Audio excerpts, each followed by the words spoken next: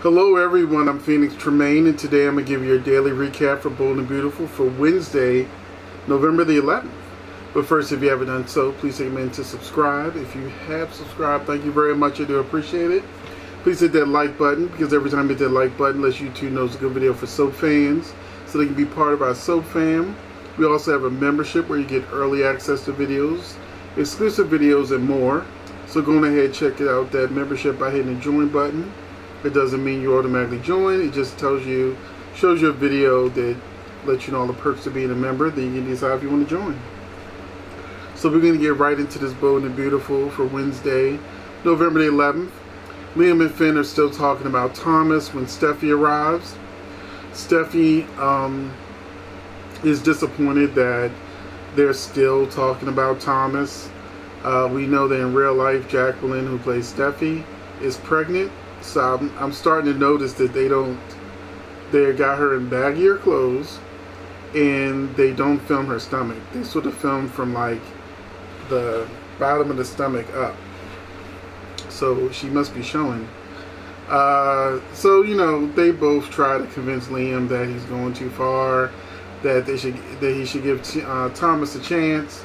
And Steffy and Finn both let Liam know that Hope feels that she's being neglected, and that he should be spending more time with her.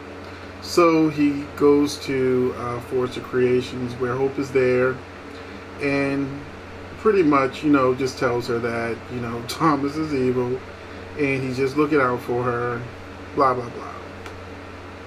Uh, we have uh, Zende and Hope early in the episode where Zende just notices that Thomas, you know, designs. He's like, oh, another Thomas design. And she's like, yeah, you know, it's great, isn't it? And um, she also manages to tell Charlie that Thomas had the mannequin and Charlie's like, wasn't he standing here when I was asking about it? And he said he didn't know anything about it. She's like, yeah. Um, we also had Carter keeps hinting that he has a secret, that he wants to share it at this big dinner that he's trying to have with Zende, Zoe, and Paris. I'm really hoping it's not what I think it is. Tomorrow, there's somebody supposed to propose on Bold and Beautiful. And I'm like, they've only even done it one time. Okay, okay, twice. Once in the evening, once in the morning. And they barely know each other. I really hope that Carter isn't going to do something stupid like propose marriage to Zoe. And they're still just getting to know each other. And clearly, Zoe says she didn't want to move in. She's kind of pumping the brakes a little bit.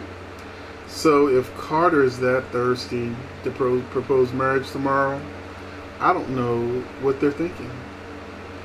Then we had Zende arrive with flowers for Paris, making Zoe look very uncomfortable. And it ends with Thomas having dinner with the mannequin. No, the mannequin doesn't have any food. But as he's sitting at the table, the mannequin saying, Get rid of Liam, get rid of Liam. Hope wants you put your family back together with uh, uh, Hope and Douglas.